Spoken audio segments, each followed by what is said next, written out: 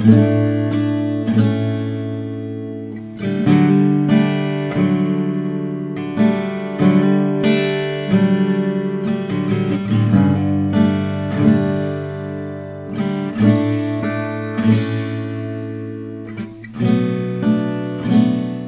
guys, Niek here for the Fellowship of Acoustics and you just heard this brand new Lowden S35.